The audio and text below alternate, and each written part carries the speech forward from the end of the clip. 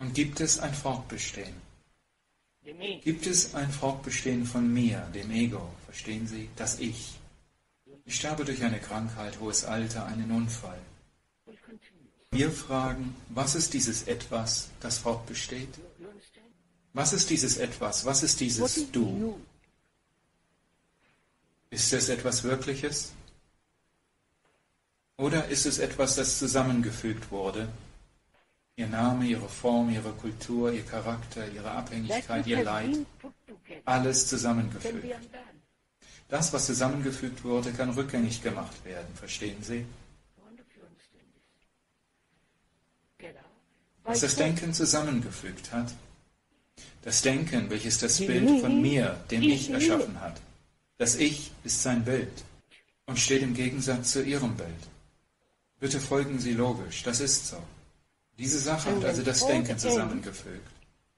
Und wenn das Denken aufhört, löst sich die zusammengefügte Sache natürlich auf. Kann ich also, bevor ich sterbe, während ich lebe, diese Sache auflösen? Das betrifft uns alle, der Tod.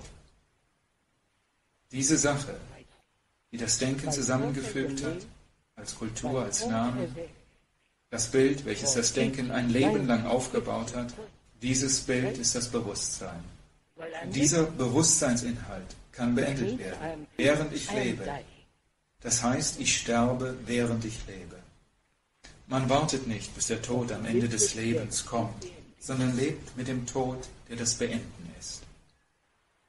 Und wenn dies beendet wird, gibt es enorme Energie. Wird also das eine beendet, die Ursache des Leids, dann ist das andere da.